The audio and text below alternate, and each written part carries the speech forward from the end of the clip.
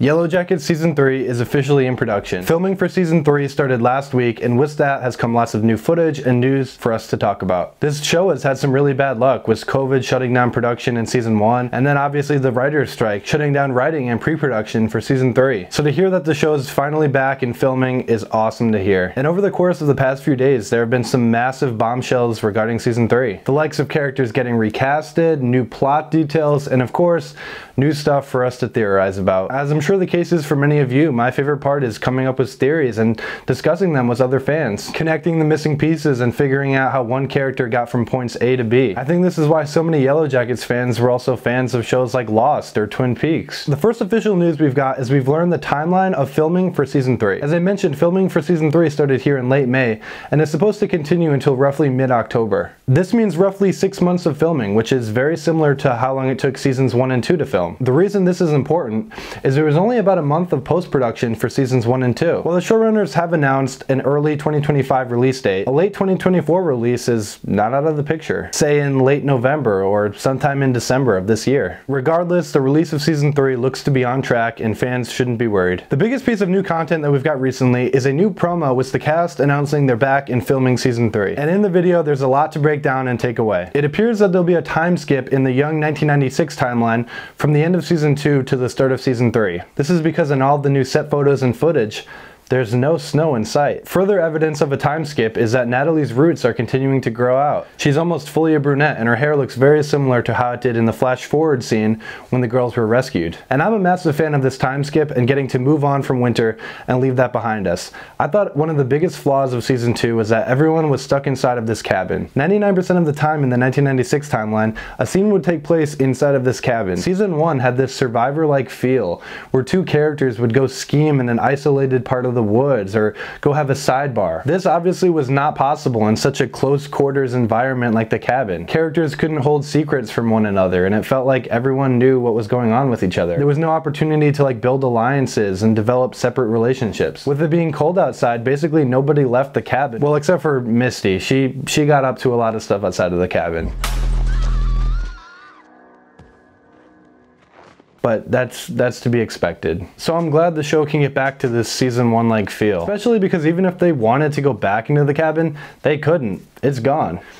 Coach Ben really said, screw them kids. My biggest question here though is will we have any winter scenes following the immediate aftermath of this cabin burning down? And part of me wants to see what they do and how they react, how they respond. But I'm also fine with just skipping straight to spring and picking up where they are at that point. After all, there wasn't much winter left anyways, because at the start of season two, we know they've already been in winter for two months at that point.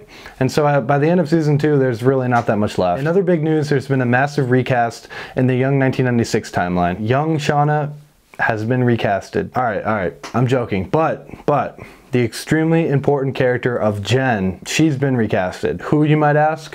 Who's Jen? I've I've never heard of a Jen. All all valid points. And yeah, I I don't blame you. Jen barely had any screen time. But diehard fans will remember her all the way back from season one. That's right, she's been in both seasons and slowly started to creep her way into a more prominent character at the end of season two. And we know she's been recasted because in this new video promo, there was a different actress playing Jen. In this promo, I didn't even recognize at first that Jen had been recasted and I didn't notice it until I watched it for a second time.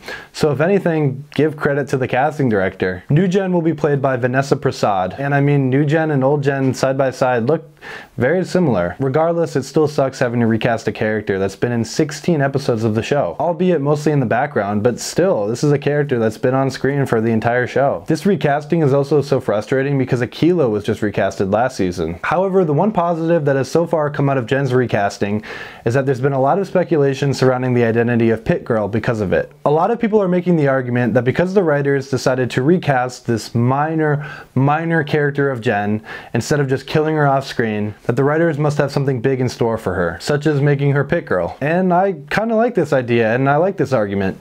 It'd be super easy for the writers to just kill Jen off screen. Throw a line in there saying, it's been two months since Jen died in the cabin fire or it's been two months since Jen froze to death. It would have been super easy, and there's honestly no reason to distract the audience further by recasting another character. So the argument is that because the writers decided to keep her, there's something more to her character. Personally, I think the writers just didn't want this character to disappear off the face of the planet. I absolutely hate it when a death of a character is just referenced off screen. And she was already enough of a minor character that this new actress could actually be a good thing. She could breathe new life into the character and add more substance. And this is not me hating on Jen's previous actress, it's just Jen was really never given an opportunity to shine. And this new take could actually be a good thing. So I don't think that 100% Jen is the pit girl because, I mean, Real ones know that Mari is the pit girl. I mean, come on. But regardless, this theory is interesting to think about. Another thing I noticed is that Nat is still wearing Jackie's necklace after the hunt. This necklace of Jackie has been on a crazy journey of its own. Jackie obviously died with the necklace on, and then the girls gave Nat the necklace during the hunt. We also know that Pit Girl died with the necklace on. So because of all these three events, I think it's safe to assume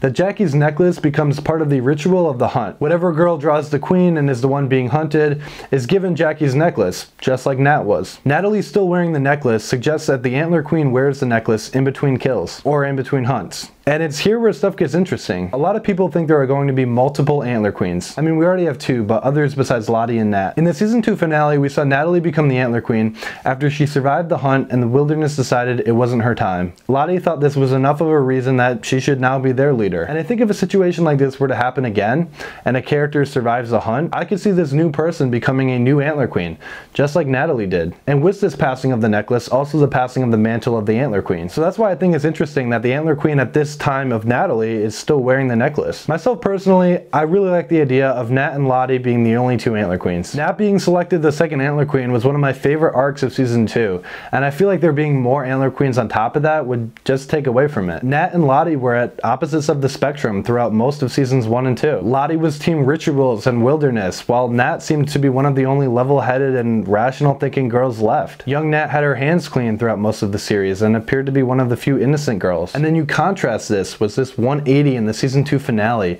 of her becoming the Antler Queen and the ruler of this cult. I think it was awesome to watch unfold. It also made adult Nat and young Nat feel far more connected. To me, the two always felt very disconnected and felt like separate characters at times. I couldn't understand how young Natalie turned into adult Natalie, but was this newfound understanding that Natalie was the Antler Queen explained so much to me about adult Natalie. It explained why adult Natalie had this guilty conscience and would constantly bring up the atrocities that girls committed in the woods. Adult Taissa or Shauna did everything they could to avoid talking about it, but Natalie would remind them of what they did. Knowing she was the Antler Queen also added to the depth of her battle with drug addiction. So I'm sorry about this sidebar, but the rise and fall of Natalie literally, in season two, was one of my favorite parts of it. It was a highlight for me. And while the addition of more Antler Queens would be cool, I think in the long run, it would just take away from Natalie's character. Another big thing that people noticed in this new promo was a sign outside of the trailer of the actress who plays Akilah. The sign said, quote, young Akilah. And this caused complete chaos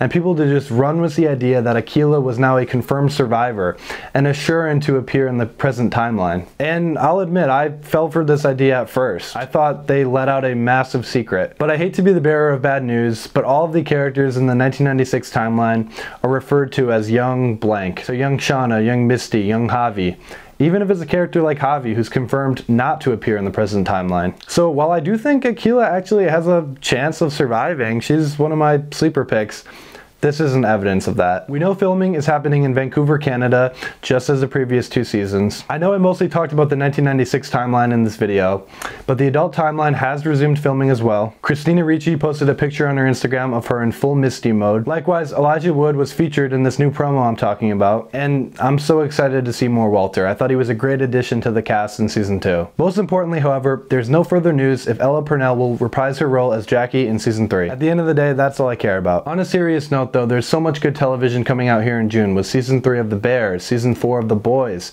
season 2 of House of the Dragon, that it's easy to forget about season 3 of Yellow Jackets. But with all of this new news and theories, the excitement for me is at an all-time high. I can't wait to see what's next. If you guys have any thoughts on this new information or theories, please be sure to drop them in the comments. I'd love to talk more Yellow Jackets with you guys. And if you have any other ideas of other content, whether it be other film and television videos or more Yellow Jackets videos, please let me know. I'll see you guys in the next one.